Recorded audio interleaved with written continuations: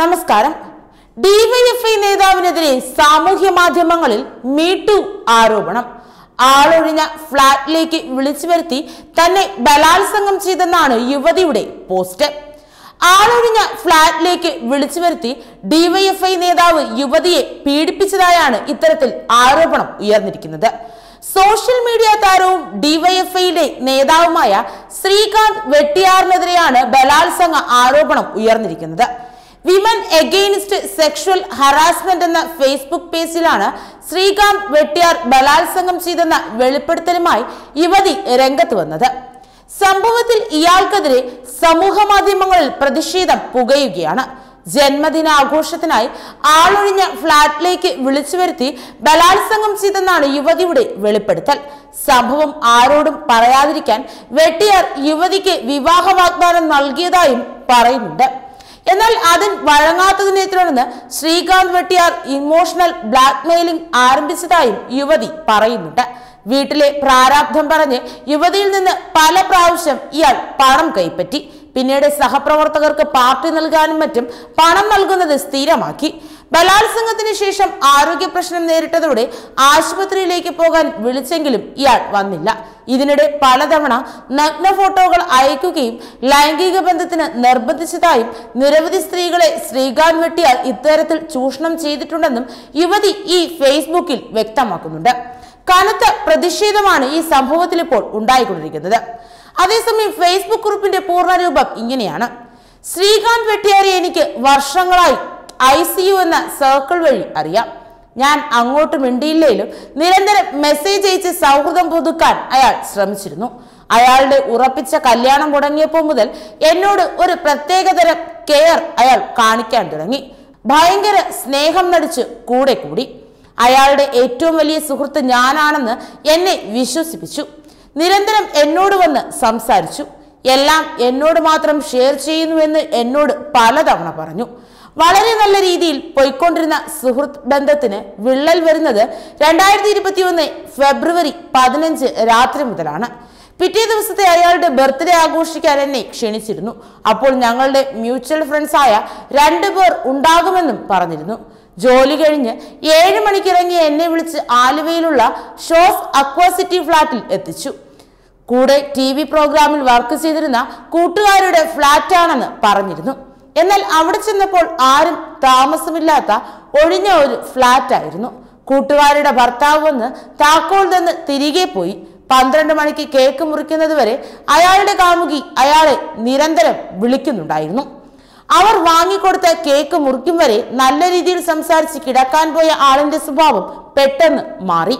എന്നെ കെട്ടിപ്പിടിക്കാനും ഉമ്മ വയ്ക്കാനും തുടങ്ങി. തള്ളി മാറ്റി. എനിക്ക് ഇഷ്ടമല്ല എന്ന് പറഞ്ഞപ്പോൾ ദേഹത്ത് കയറി ഇരുന്ന് ബലം പ്രയോഗിക്കാൻ തുടങ്ങി. കരഞ്ഞിട്ട് പോലും വെറുതെ വിട്ടില്ല. എന്റെ കൺസെന്റ് ഇല്ലാതെ ഞാൻ അനുവാദം കൊടുക്കാതെ അയാൾ എന്നെ റേപ്പ് ചെയ്തു. ഒരു പരിചയവുമില്ലാത്ത ആ സ്ഥലത്ത് നിന്ന് ഇറങ്ങി ഓടാൻ പോലുമുള്ള മാനസികാവസ്ഥ ആയിരുന്നില്ല അപ്പോൾ. മാനസികമായി വേറെ കുറെ പ്രശ്നങ്ങൾ കൊണ്ട് ഞാൻ ആകെ തകർന്നിരിക്കുകയായിരുന്നു. ആ അവസരമാണ് അയാൾ മുതലാക്കിയത്. പിന്നെ ഞാൻ കണ്ടത് ജീവിതത്തിലും അഭിനയിക്കുന്ന വെട്ടിയാർ എന്ന നടനെയായിരുന്നു. ആരും ഇത് പറയാതെ ഇരിക്കാൻ വിവാഹ വാഗ്ദാനം നൽകി. അതിൽ വഴങ്ങില്ല എന്ന് കണ്ടപ്പോൾ ഇമോഷണൽ ബ്ലാക്ക്മെയിലിംഗ് ആയി ഇത്രയും നാൾ എന്റെ വളർച്ചയ്ക്ക് കൂടെ നിന്ന നീ എന്നെ തകർക്കാൻ ആഗ്രഹിക്കുന്നെങ്കിൽ ചെയ്തോ. നീ പോസ്റ്റ് ഇട്ടോ കേസ് കൊടുത്തോ അല്ലെങ്കിൽ ആരോടെങ്കിലും പറഞ്ഞോളൂ അതോടെ എന്റെ സിനിമാ സ്വപ്നങ്ങളൊക്കെ തകരട്ടെ എന്നൊക്കെ പറയാൻ തുടങ്ങി. എന്റെ അവസ്ഥ കൊണ്ട് അപ്പോൾ എനിക്ക് ആരോടും ഒന്നും പറയാൻ പറ്റിയില്ല. ഇപ്പോൾ പറയാൻ ധൈര്യം വന്നത് ഇതിൽ ഞാൻ മാത്രമല്ല വേറെയും ഒരുപാട് പെൺകുട്ടികൾ ബാധിക്കപ്പെട്ടു എന്നറിഞ്ഞപ്പോഴാണ്.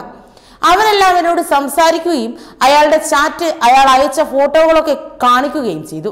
ഇനിയും ആരും ഇതുപോലെ പറ്റിക്കപ്പെടരുതെന്ന് കരുതിയിട്ടാണ് അയാൾ ഇന്റർവ്യൂവിൽ സ്ത്രീകൾക്ക് നേരിടുന്ന പ്രശ്നങ്ങളെക്കുറിച്ചും പൊളിറ്റിക്കൽ കറക്റ്റ്നെസിനെ കുറിച്ചും എല്ലാവർക്കും ക്ലാസ് എടുക്കുന്നത് കാണുമ്പോൾ അരോചകമാണ്.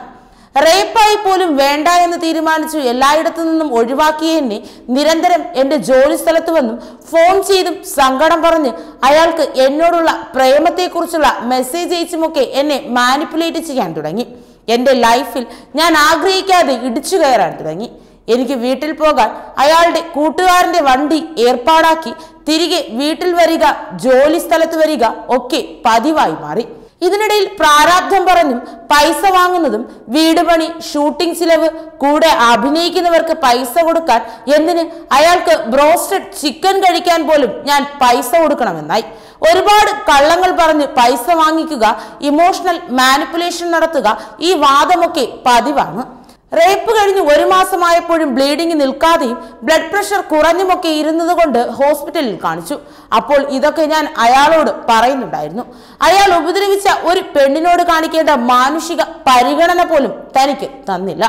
ഓരോ കാരണങ്ങൾ പറഞ്ഞ് ഒഴിയുകയാണ് ചെയ്തത്. അമ്മയ്ക്ക് മാനസിക രോഗമാണെന്നും അവരെയും കൊണ്ട് ഹോസ്പിറ്റലിൽ കൊണ്ടുപോകുന്നത് കൊണ്ട് വരാൻ പറ്റില്ല എന്നും പറഞ്ഞു. അയാൾക്കും അമ്മയ്ക്കും ചേച്ചിക്കും അയാൾക്കും മെന്റലി പ്രശ്നമുണ്ടെന്നും അയാൾക്ക് എപ്പോഴും മൂഡ് സ്വിംഗ് ആണെന്നും ഡോക്ടറിനെ കാണിക്കണമെന്നും നിരന്തരം പറയുന്നത് പതിവാണ്. അത് കാരണമാണ് താൻ ഇങ്ങനെയൊക്കെ ആയതെന്ന് വരുത്തി തീർക്കാൻ.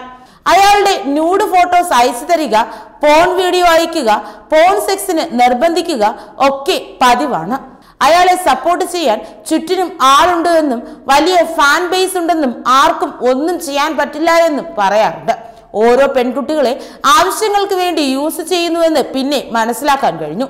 ഏതെങ്കിലും പെൺകുട്ടിയെ കണ്ട് പിരിയുമ്പോൾ അവരോട് ഒന്ന് ചോദിക്കാതെ അവരുടെ ഇഷ്ടമില്ലാതെ കെട്ടിപ്പിടിക്കുക എന്നിട്ട് തിരികെ വന്നിട്ട് അവരോടുള്ള സ്നേഹം കൊണ്ടാണ് കണ്ടപ്പോൾ ഉള്ള സന്തോഷം കൊണ്ടാണെന്നൊക്കെ പറഞ്ഞ് മെസ്സേജ് അയക്കുക സ്ഥിരം പരിപാടിയാണ്. ഇങ്ങനെ പുരോഗമനവും പൊളിറ്റിക്കൽ കറക്റ്റ്നസും പറഞ്ഞ് തന്റെ കോമഡിയെ മാർക്കറ്റ് ചെയ്യുകയും ആരാധക വൃന്ദത്തെ ഉണ്ടാക്കുകയും ചെയ്യുന്ന ഇയാളുടെ യഥാർത്ഥ മുഖം മറ്റൊന്നാണ്. ഇന്റർവ്യൂവിലും അയാളുടെ വീഡിയോയിലും പറയുന്ന ഒരു കാര്യങ്ങളും അയാൾ അയാളുടെ ജീവിതത്തിൽ പുലർത്തുന്നില്ല. പ്രണയം നടിച്ച് വിവാഹ വാഗ്ദാനം നൽകി പല സ്ത്രീകളെയും ഇയാൾ പറ്റിച്ചിട്ടുണ്ട്. അത്തരത്തിൽ ഒരാൾ അയാളുടെ വീട്ടിൽ പോയി വഴക്കുണ്ടാക്കിയപ്പോൾ അവളെ അയാൾ ഏറ്റവും മോശമായ രീതിയിലാണ് സുഹൃത്തുക്കളോട് പറഞ്ഞത്. ഈ സ്ത്രീയെ ബോഡി ഷെയ്മിങ് ചെയ്യുകയും അവരുടെ തൊഴിലിനെ തന്നെ മോശമായ രീതിയിൽ ചിത്രീകരിക്കുകയും ചെയ്തു. അയാളോട് സംസാരിക്കുന്ന മെസ്സേജ് അയക്കുന്ന സ്ത്രീകൾക്കെല്ലാം അയാളുടെ പ്രേമമാണെന്നും അയാളുടെ കൂടെ സെക്സ് ചെയ്യണമെന്നും പറയാറുണ്ടെന്ന് വെട്ടിയാർ ബാക്കിയുള്ള സുഹൃത്തുക്കളെ തെറ്റിദ്ധരിപ്പിച്ച് അയാളോട് അടുപ്പമുള്ള സ്ത്രീകളെ മോശക്കാരികൾ ആക്കാറുണ്ട്. അയാളെക്കുറിച്ച് പരാതി പറയുന്ന സ്ത്രീകളെല്ലാം അയാൾക്ക് ഭ്രാന്തിയാണ്. തുറന്നു പറയുന്ന സ്ത്രീകളെല്ലാം അയാളെ പ്ലാൻഡ് അറ്റാക്ക് ചെയ്യുന്നുവെന്നാണ് പറയുന്നത്. എന്നെ അയാൾ റേപ്പ് ചെയ്തതാണ്.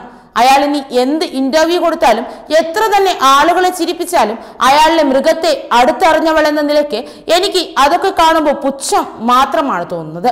എന്നോട് അയാൾ ഒന്നും ഇതുവരെ തെറ്റായി പറഞ്ഞിട്ടില്ല. അതുകൊണ്ട് അയാൾ നല്ലതാണെന്ന് പറയുന്നവരുമുണ്ട്. അല്ലെങ്കിലും നമുക്കൊക്കെ സ്വന്തം വീട്ടിലോ നമുക്ക് അടുപ്പമുള്ളവർക്കോ എന്തെങ്കിലും പറ്റിയാൽ മാത്രം വിഷമിക്കുന്ന ഹൃദയമാണല്ലോ ഉള്ളത്. കുറ്റകൃത്യം റേപ്പാണ് അതിനുശേഷം അത് പുറത്തു പറയാതിരിക്കാൻ എന്നെ സ്നേഹം നടിച്ചു. വാഗ്ദാനം നൽകി മാനിപ്പുലേറ്റ് ചെയ്യുകയും ചെയ്തു. ഈ കഴിഞ്ഞ മാസങ്ങളിൽ ഞാൻ കടന്നുപോയ മാനസിക ശാരീരിക സംഘർഷങ്ങൾ ചെറുതൊന്നുമല്ല. അതേസമയം കുറ്റകൃത്യം ചെയ്ത ആൾ ഇപ്പോഴും പുരോഗമന മുഖം മൂടിയിട്ട് സമൂഹത്തിൽ മാന്യത ചമഞ്ഞ് നടക്കുന്നു. ഇനിയെങ്കിലും ഇതിനൊരു അന്ത്യം വരേണ്ടതുണ്ട് എന്ന് പറഞ്ഞുകൊണ്ടാണ് ഈ യുവതി തന്റെ കുറിപ്പ് അവസാനിപ്പിച്ചിരിക്കുന്നത്. എന്തായാലും വളരെ ദാരുണമായ ഒരു സംഭവം തന്നെയാണിത്. ഒരു യുവതിയുടെ ഏറ്റവും അങ്ങേയറ്റത്തുള്ള നൊമ്പരപ്പെടുത്തുന്ന വാക്കുകളാണ് ഈ കുറിപ്പുകളിൽ നാം കണ്ടത്. ഇതിനെതിരെ ശക്തമായ നടപടികൾ ഉണ്ടാവണം. Web desk Tatwamayi news